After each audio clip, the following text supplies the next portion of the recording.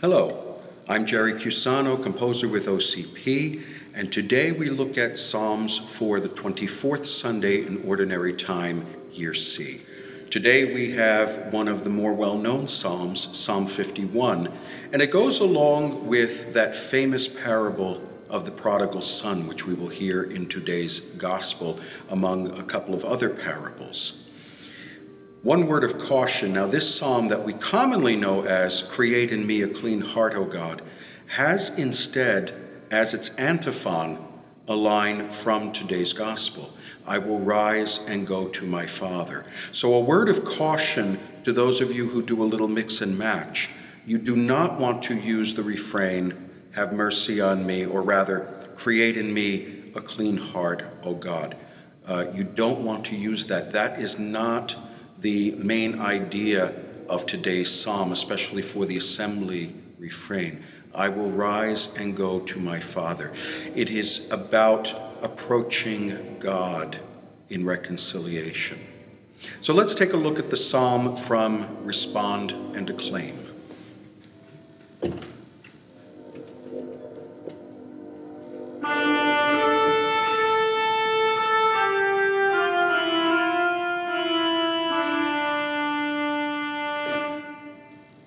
I will rise and go to my Father.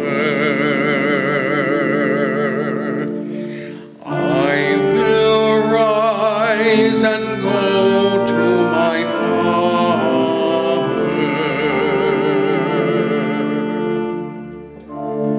Have mercy on me, O God, in your In the greatness of your compassion, wipe out my offense. Thoroughly wash me from my guilt, and of my sin cleanse me. I will rise and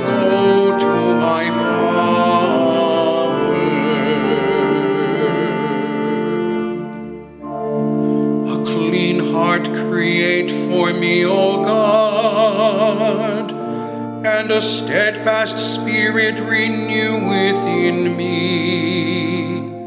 Cast me not out from your presence, and your Holy Spirit take not from me.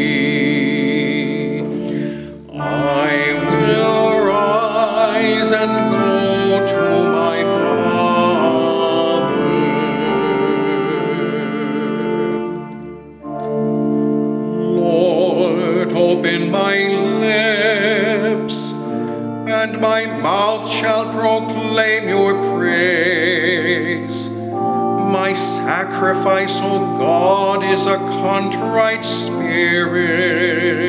a heart contrite and humbled, O God, you will not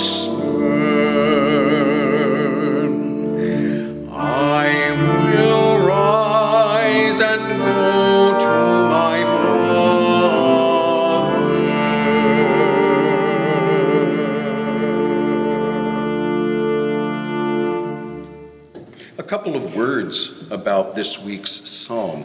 If you notice, traditionally, as on Ash Wednesday and the first Sunday of Lent, there are four prescribed verses of the psalm.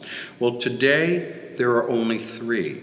So I would caution that you, if you use a different type of setting, that you make sure the verses match up. The church very carefully prescribes the verses of the psalm as well as the psalm antiphon itself.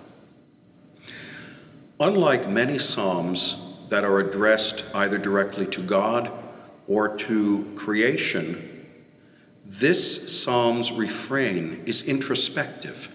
It is addressed to oneself.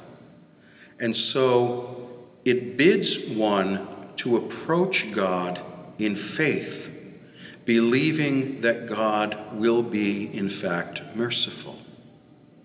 And we know that God is.